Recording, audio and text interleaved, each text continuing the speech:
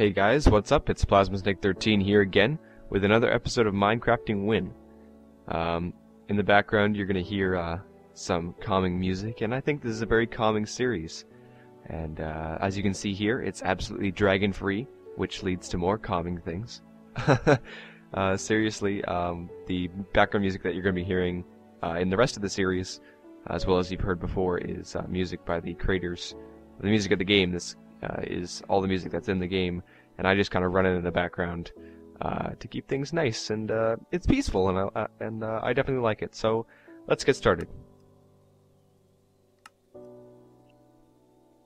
So this week I'm going to be touching on the topics of building blocks. Building blocks are exactly what they sound like. Building blocks are basically what you see around you. As you can see, I've made my house out of wood, stone, and glass. This is a combination of building blocks, but we'll get into that in a second. The first thing that I'd like to talk to you guys about is uh, a little thing that I've done for this little episode. Uh, it, as you can see over there, I've got the examples here. Um, to get these items, uh, you know, quickly, efficiently, and um, effectively, I've basically used an inventory editing system uh, to get these items. Let me just kill this pig because you are very loud when you're in the water.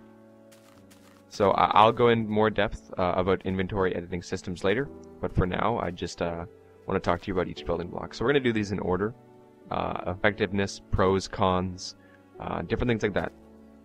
So let's start with wood. Now, wood is probably the first one that you're going to get into at the very beginning. Wood is what you get from trees, obviously, wooden planks, and you can just place them down like normal and uh, it's going to be your basic, you know, wooden cabin like I have uh, up on my mountain here. Now, there's some pros to wood, which is, you know, it looks very nice. Uh, I think a, a, lot of the buildings, uh, a lot of the part of building buildings is the fact that uh, aesthetics matter a whole lot, and which is why I built mine on an awesome mountain. You know, I've got like a nice wooden cabin, and it's good. And so, uh, aesthetic-wise, it's a it's a pretty good choice. Uh, the downside to this is, first of all, you have to trees are not limited, but they're limited within your area, which means you have to go farther and farther each time to get more and more wood. Luckily, you can get a lot per log, so that shouldn't be too much of a problem. God damn, why are there so many animals? Uh, another downside to wood is, well, uh, just watch. Probably not a great thing if you have lava or anything that could possibly come and in. oh dear God. Oh shit. And that, my friends, is a perfect example why you do not use wood. Okay, it's great for the beginning, but for the most part, you're gonna want to stray away from wood, especially if you're in any contact at all with fire. So the second one you're probably going to use is cobblestone. Cobblestone is very easy to get. As soon as you start building your mine like I have, you're going to see, you know, you know, you're going to be getting a huge amount of cobblestone. What can you use it for? You can use it for building. It's got kind of a darkish, um, castle look, which is a great way uh, to kind of get that nice uh, old feeling. You know, if you look up here, it doesn't look that bad from a distance. It looks kind of complicated though. And that's the downside to cobblestone, is that it's a little bit dark and it's a little bit complicated. No matter what texture pack you're going to get, you're going to get quite a complicated, uh, you know, texture to it, and it doesn't really look that great from afar. And so, this is this gets solved with smooth stone. Smooth stone is what you see underground and what you mine, which turns into cobblestone when you mine it. But basically, what smooth stone is is uh, you get it by taking cobblestone, putting it in a furnace, and uh, basically cooking it like you'd cook meat or sand to make glass. Uh, you'd cook cobblestone to make smooth stone. Uh, it doesn't really make any sense, but uh, you had to get it somehow. And so you can get smooth stone. What smooth stone does is, obviously, if you look at these two side by side, I'm sure some of you prefer this because it's a little bit darker. But for the most part, you know, this is a nice, smoother look. And I know, especially in the original Minecraft texture pack, you know, this looks a lot nicer than the cobblestone. Now, here's a little different one, and not a lot of people use this, and this is the uh, bricks. Now, bricks are quite hard to get. Clay is hard to come by, it turns into one brick, a couple of bricks makes a block, and basically it's really, really hard to get. Um, but as you can see, when you actually make it, it looks quite nice. The uh, bricks look quite nice. So if you can manage to get your hands on uh, clay, or if you use the uh, inventory edit like I'm going to be talking about in a little bit, it can actually be quite a nice addition. And, uh, Know, looks really, really nice.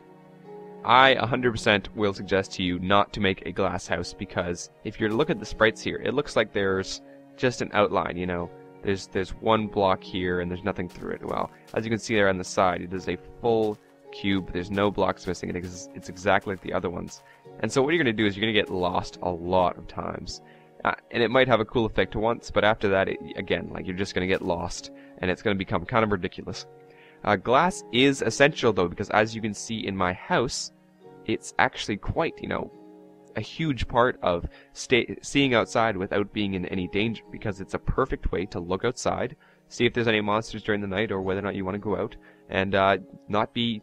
They can't destroy glass, and you can see perfectly through it. So it's a it's a great. It's pretty much essential. Now, if you haven't already figured out, nor did you see my previous tutorial, you get glass by taking sand, just regular sand, and uh, burning it in the furnace, and what that'll get you um, a nice, healthy amount of glass. Now, dirt is an interesting one because uh, a lot of people were talking to me last time about dirt being a good building substance, and why didn't I just use dirt? Why not use wood? Um, the reason why I don't use dirt personally is because I'm kind of OCD. You know, dirt doesn't really look that good. You, can you imagine building your house with dirt? It doesn't look good at all. It looks like, you know, outside. The only way I would suggest using dirt is at the very beginning and then replacing it later, unless it's your thing. Again, it's this Minecraft is all about your own creativity. So if you want to build a house of dirt, then go right ahead. And so yes, I wouldn't I wouldn't recommend dirt unless you really want to. Uh, there's also a downside to dirt as a floor. You know, I haven't really talked about floors before, but this is actually uh, the only uh, material that I would 100% not recommend as a floor. The reason being, when you put dirt on the ground and it's exposed to sunlight and you know it's open like this, it's obviously going to turn into grass. Grass looks very nice and you know it, it would look kind of cool as a carpet. But the only problem to this is that animals spawn at night on grass. Which means that you're going to wake up, you're going to sit in your bed and you're going to sleep and it's going to be all nice and you're going to wake up and suddenly there's like 50 cows staring at you and you're like, what the hell? What are they doing in my house?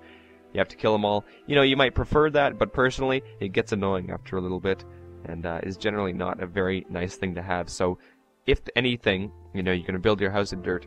If anything, make sure you put your floor as cobblestone, as I have done above on my house.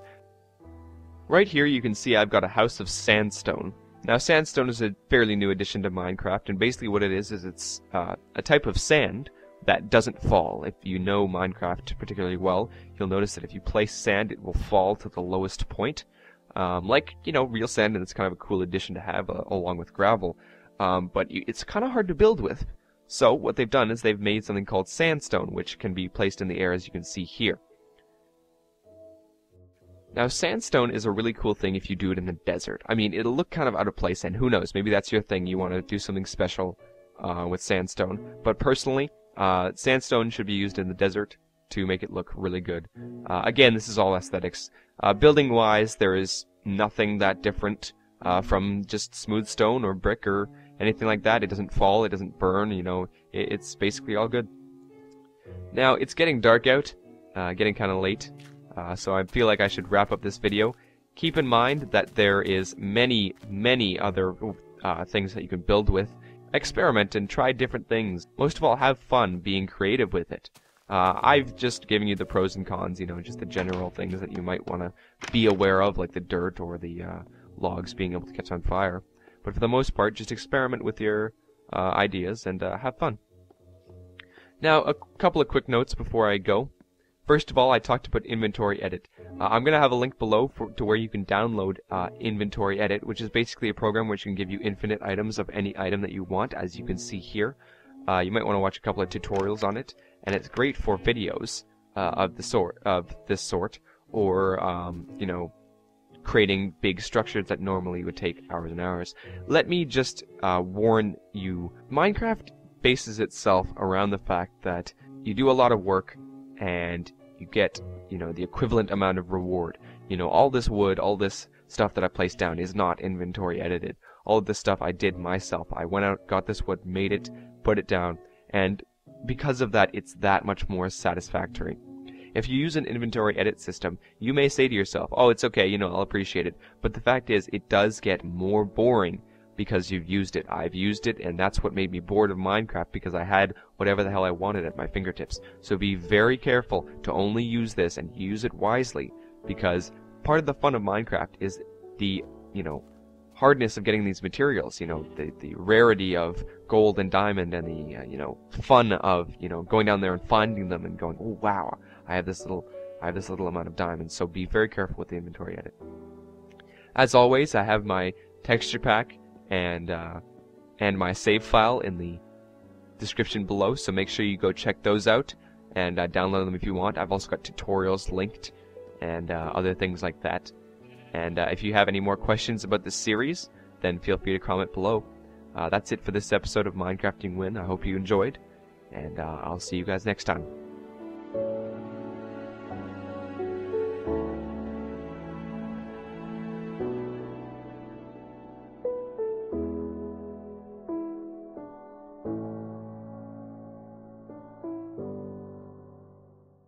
above on my house because it's definitely gonna. Are you kidding me?